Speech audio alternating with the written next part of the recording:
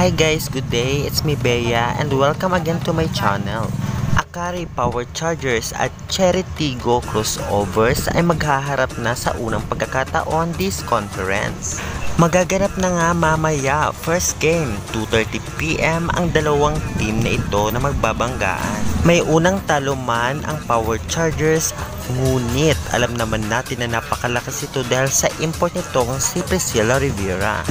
Masasabi nga natin na 2-0 at labang po ang Cherry Tigo dahil wala po itong talo at nasa number 1 spot nga ang team na ito ay pwede pa rin silang masilat ng Akari Power Chargers. Ngunit hindi ito magiging madali sa Power Chargers dahil nga napakalakas ngayon ng lineup ng Cherry Tigo. Samahan pa ng import nitong si Helena. Hindi lamang sa depensa ngunit napakagaling din nito at mautak pagdating sa spiking dahil palaging pa-check ball ang palo nito. Pero for me, talagang malakas ngayon ang Cherry Tigo. Talagang mahihirapan man kung sakaling matalo man ito ng Power Chargers. Samahan pa ito ng talagang nagpakitang gilas ngayong conference na ito na si Mylin pa at nagrabe pumorsento pagdating sa spiking.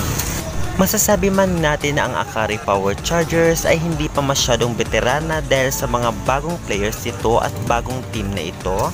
At natin na sa unang laro nila this conference sa PVL Enforce Conference ay natalo sila.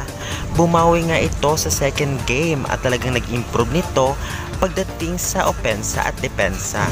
Mapapanood para ang laro nila sa One Sport at One Sports Plus kung kayo po ay may cable.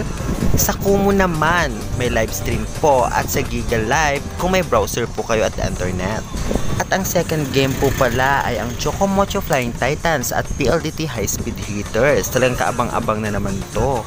Kaya guys, sa tingin nyo, sino kaya ang mananalaw sa dalawang team na ito? I-comment na yan and don't forget to like and subscribe and pahit ang notification bell for more updates about sa volleyball dito sa Pilipinas. Maraming maraming salamat hanggang sa muli. Babush!